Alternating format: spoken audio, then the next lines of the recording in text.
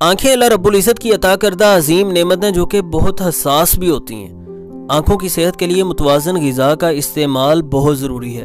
اگر روزمرہ غذا میں ضروری وٹامنز، منرلز، غذائی اجزاء اور اینٹی آکسیڈنٹس موجود ہوں، تو آنکھوں کے پیچیدہ مسائل جیسے بینائی کا کمزور ہونا، آنکھوں کا خشک رہنا، رات کو کم نظر آنا موتیا پیدا ہو جانا یا دھندلا نظر آنا وغیرہ، ان سے بچا جا سکتا ہے۔ اس کے لیے پھلوں، سبزیوں اور دالوں کا زیادہ استعمال کرنے کے ساتھ ساتھ پروسیسڈ فوڈ سے اجتناب بہت ضروری ہے۔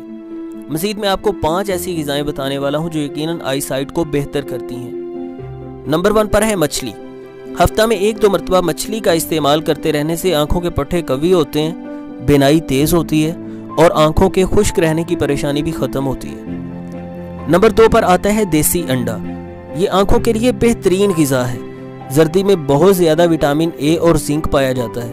وٹامن اے کرنیا کی حفاظت کرتا ہے جو کہ آنکھ کا مقدم حصہ ہے، اور زنک ریٹینا کی صحت میں اہم کردار ادا کرتا ہے جو کہ آنکھ کی پشت ہے۔ اور یہ رات کو دیکھنے میں بھی مدد فراہم کرتا ہے۔ نمبر تین ہے بادام۔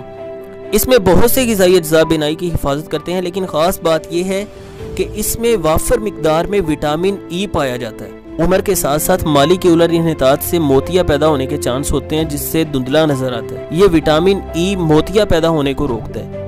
اس اعتبار سے یہ آنکھوں کی صحت کے لیے بہت ضروری ہے اور بہت اہم ہے۔ آپ دن میں کسی بھی وقت بادام کھا سکتے ہیں، بس یہ ذہن میں رکھیں کہ ایک وقت میں بہت زیادہ نہیں کھانے۔ تھوڑے تھوڑے مختلف اوقات میں کھانے ہیں، کیونکہ یہ ہائی کیلوریز والی غذا ہوتی ہے۔ نمبر چار ہے گاجر۔ یہ بینائی کو بہتر کرنے میں بے مثال چیز ہے۔ اس میں بھی خوب وٹامن اے اور بیٹا کیروٹین موجود ہوتا ہے، جو آنکھوں کی انفیکشن سے بھی حفاظت کرتا ہے اور بینائی کو خوب تیز کرتا ہے۔